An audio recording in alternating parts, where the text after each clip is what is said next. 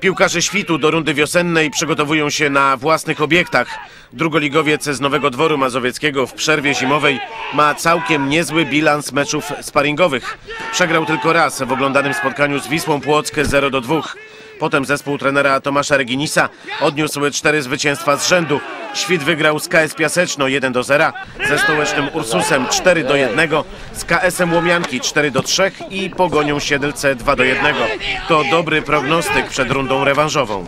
Każda runda jest y, ciężka, mówię, w tamtej rundzie mieliśmy y, kadrowo jakieś tam kłopoty, w tej rundzie y, mamy nie, nieliczną kadrę, aczkolwiek mam nadzieję, że jeżeli nas będą omijały kontuzje i żółte kartki, to ta kadra będzie wystarczająca. Po rundzie jesiennej piłkarze świtu zajmują piąte miejsce w tabeli grupy wschodniej drugiej ligi.